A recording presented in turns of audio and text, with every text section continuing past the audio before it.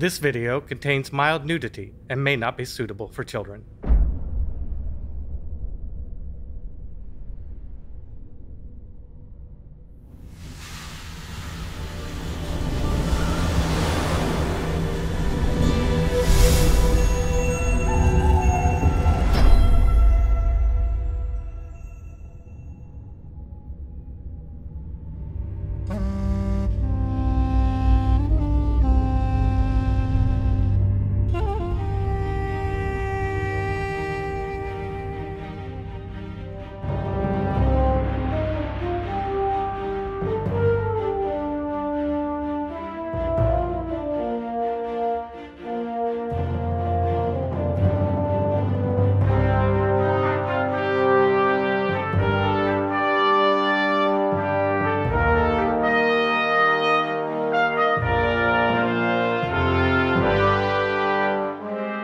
All of existence, everything that has been or ever will be, begins within a singularity of creation.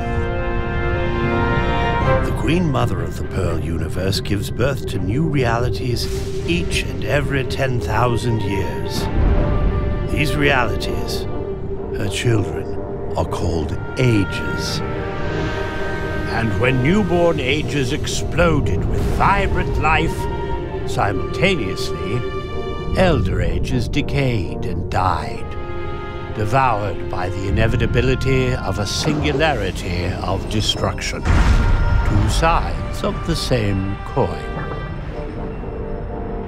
Each new age brings with it new paradigms, new laws of existence, and new life. In the time of this telling, three ages reigned supreme. The Age of Celestials, from which dark, boundless space brought galactic travel, psionic telepathy, Cthulian ancients, titans, cosmic phenomena, and horrors beyond imagining. Followed by the Age of Magic when spellcraft, enchantments, magical life forms, monstrous creatures, mythical worlds, planar realms, and the supernatural were conjured into being. And finally, the infant age, the age of gods, through which divinity came primal energy, souls, artifacts, religion, worshippers, faith, and the pantheons. the Age of Celestials. And with the Celestial Age came the great explorers. Taxian mentalists tapped worlds with their minds. Tanaluvian shipwrights and their enslaved Cthulian beasts pierced space, time, and dimensions to discover a thousand worlds and enslave them but the noise of their exploration echoed through the universe, awakening long dormant powers. The Tanaluvians foolishly dared imprison Cthulians and other cosmic terrors to power their fleets. Quite naturally, the sheer audacity of such an act antagonized the great Old Ones. And for that, they paid the ultimate price. Tanaluvia was torn asunder. Its people fled, scattered across the multiverse. Homeless. In the anarchy that followed, a new age was born. The Age of Magic. The singularity of creation spewed forth a seed infinitesimally small. Immediately it sprouted, fueled by potent planar magics. It grew and grew and grew. The universe tree. Its mighty branches swept through the stars, its roots dug deep through the galaxies. The cosmos evolved. Planets were replaced with metaphysical dimensions, worlds, and planes. Dark places of evil where demons and devils reigned.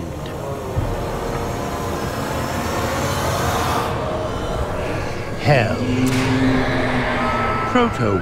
Proto-worlds governed by law, by chaos, and energy beings of extraordinary power came into existence. Elementari, lords of fire, terror, wind, and water, sat upon colossal thrones of their own elements. Around each, an elemental world alive with frightening power. Across thousands of these worlds, life abundant evolved with incredible divergent purpose. The elves. They cherished life above everything and the beauty of nature. Then there were orcs, born of hatred, who sought dominance through, above all else, death.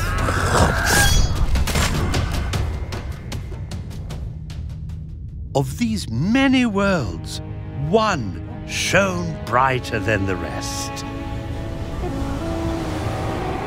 Chaldea, the birthplace of dwarves, who flourished in this new age of magic. Oh, yes. The dwarves mastered Chaldea, and for a time, peace and prosperity was all they knew. Highly adept at stone and engineering, they were monarchs of their own construction. And upon Chaldea, dwarves built an empire rivaling anything the universe had ever known. But the dwarves of Chaldea were not alone.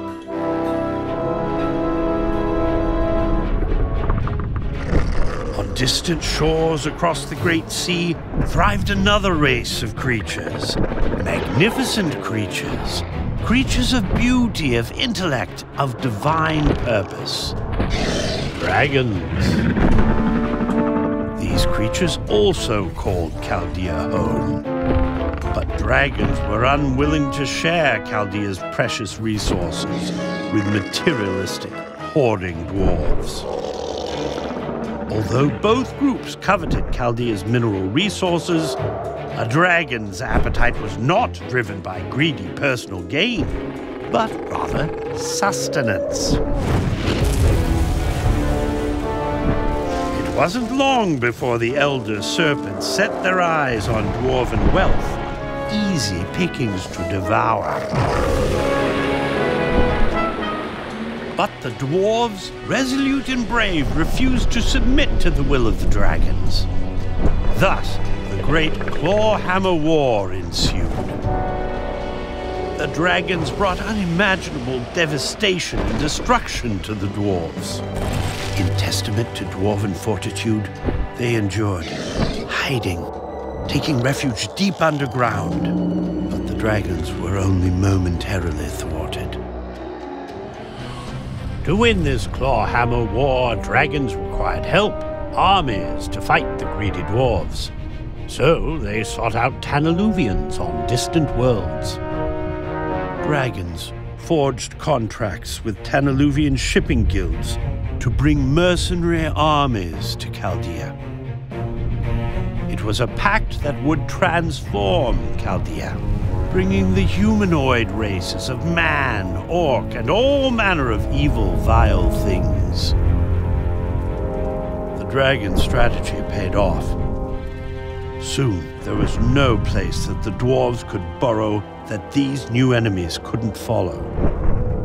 Finally, on a dread-filled morning, deep in the heart of Niche, the valiant dwarves made their last stand.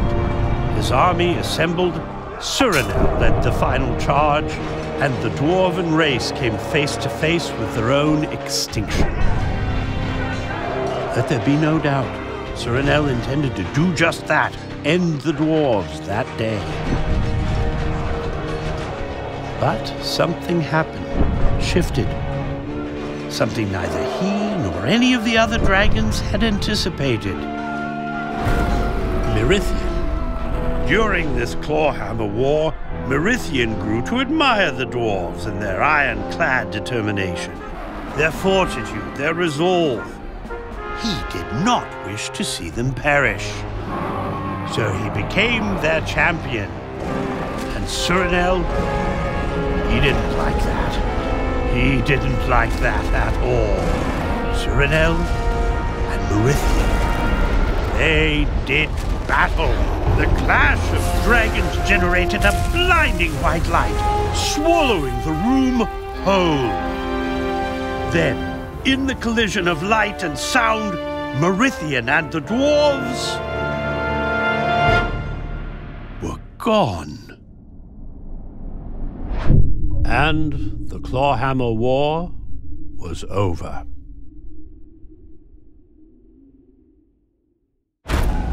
With victory came spoils. Dragons gorged and gorged, their bellies became full on dwarven wealth. And along with these spoils, something else happened. Dragons slumbered, as only dragons are wont to do. As they snoozed, the world changed yet again. Absent dragons to serve and dwarves to fight, the remnants of the humanoid armies dispersed across Chaldea, and evil creeped. So much so, it wasn't long before human clans took to warring with each other. By miracle or fate's blessing, the dwarven race had somehow escaped extinction by the barest of margins. The numbers petty and few, no one paid them any mind except predators hungry to feed on their corpses. The dwarves that remained were forced to take refuge among human settlements and were treated little better than vermin.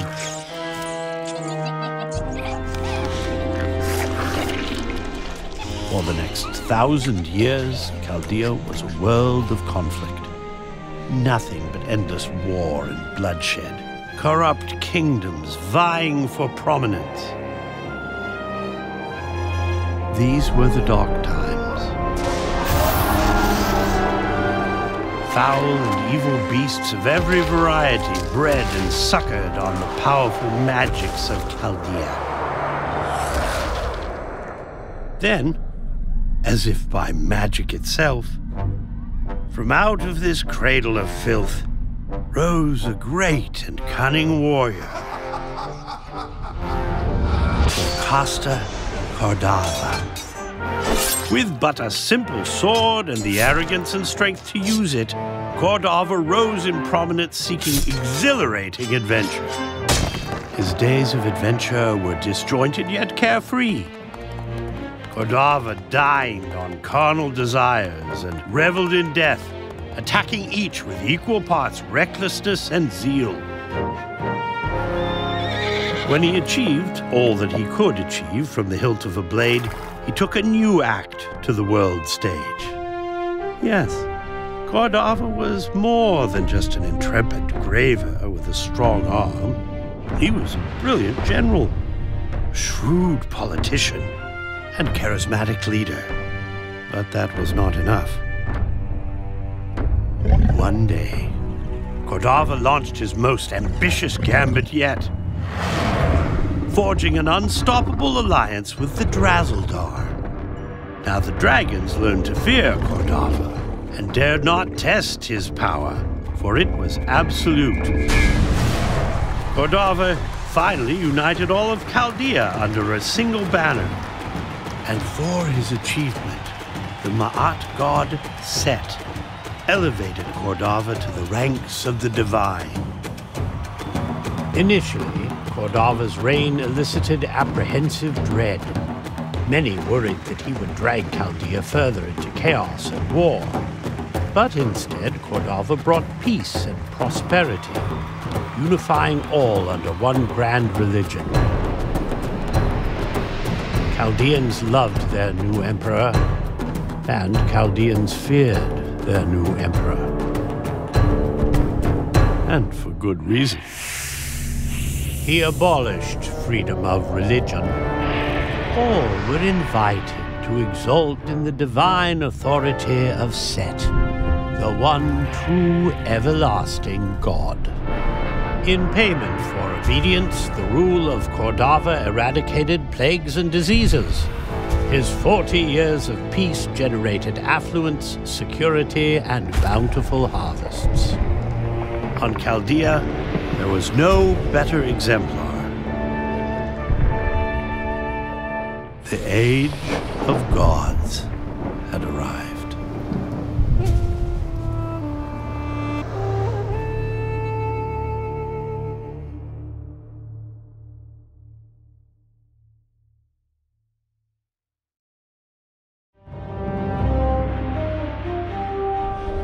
Who's there? I have a sword. If I had a real sword, Father'd never hit us again. He's calling the slavers on us. Stop! Is she dead? Freedom never tasted so soggy.